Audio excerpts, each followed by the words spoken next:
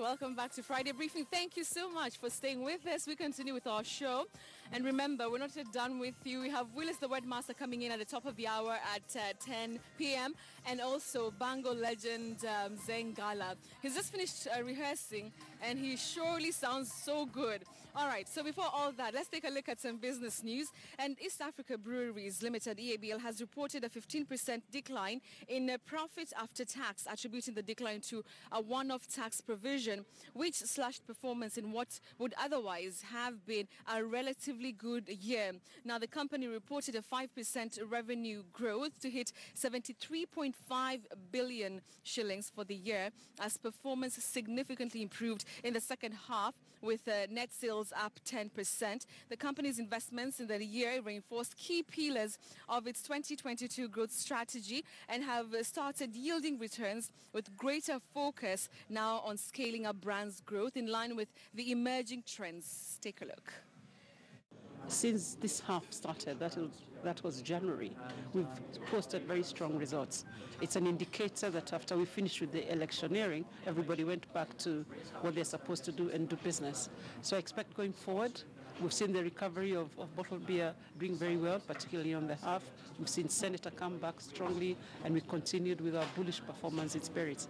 So going forward, I expect even stronger performance from the business. One of the things that we are pleased about with the new strategy is it's simple, it's clear, and everybody knows what they need to do to um, prosecute that strategy in a way that delivers uh, our growth agenda. And you've seen evidence of that in half two. Um, I hope it's not lost on you, Yuri's comment that in H2 that represented the fastest growth for six years, fastest growth for over half a decade. So, so that's what we want the strategy to continue to deliver. And the way we're going to do that in F19 is uh, uh, top of the list is our biggest investment. We want to make sure that we fully commercialize that, um, that new brewery for a number of reasons. Firstly, there's there's great revenue to be had out of that. But secondly, commercialising the brewery means we also commercialise uh, the income for 15,000 uh, additional farmers.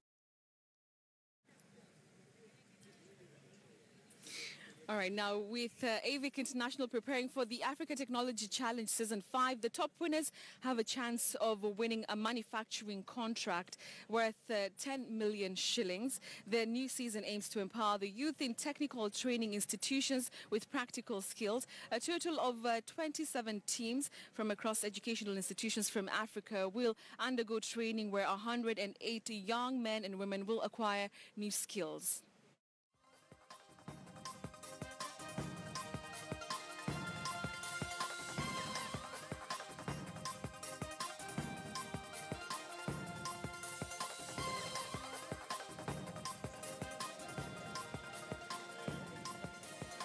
All right, now in many organizations, procurement is still part of a segmented structure in which the procurement of supplies is a discrete activity in the sequence of activities uh, from the acquisition of suppliers to the delivery of a finished product uh, to the ultimate user. Now, the challenge of uh, global competition is, however, increasing, leading many organizations to replace segmented structures.